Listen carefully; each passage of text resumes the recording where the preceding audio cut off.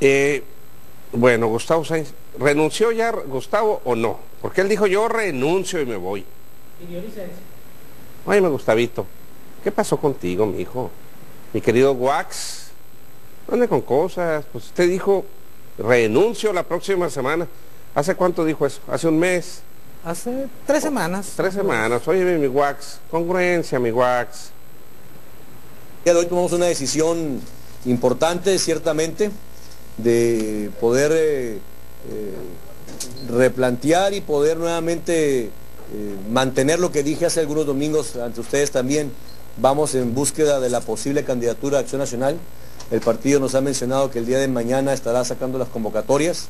Ciertamente, y ustedes lo saben porque han dado cuenta de ello, está hoy por hoy pendiente una resolución ante el Tribunal Electoral de la Federación que tiene que ver con este acuerdo que se emitió por el INE.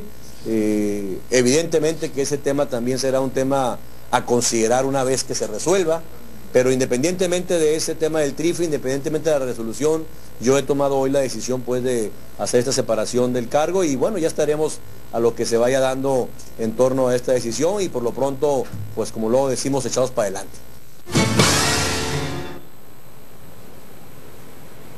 Ese, sobre ese tema habló Antonio, el diputado Gustavo Sánchez, diputado aún porque eh, su licencia, ahora sí que es diputado hasta las 11.59 del día de hoy. O sea, son 90 días antes del 5 de julio.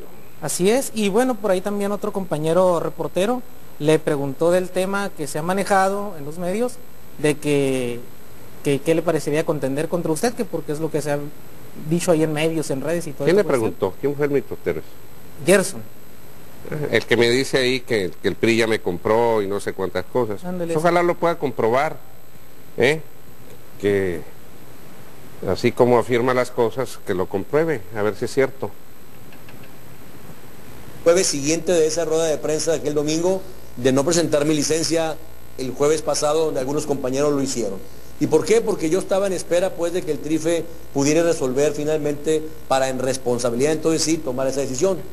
Hoy finalmente llega esta sesión del día de hoy, no se ha resuelto el trife y en ese sentido yo tuve que tomar la decisión también responsable de presentar esta licencia este, provisional temporal en torno pues a ir para adelante con la misma resolución, Gerson, con la misma este, eh, decisión de ir para adelante, buscar la voluntad de los compañeros panistas primeramente y luego, si fuera el caso, estar en la boleta en la calle. Y en la segunda pregunta, decirte, bueno, yo simplemente he escuchado los medios de comunicación, los, algunas páginas de internet, yo no lo he escuchado personalmente en la boca de, del señor este, Antonio Magaña. Nuestro amigo iba a decir.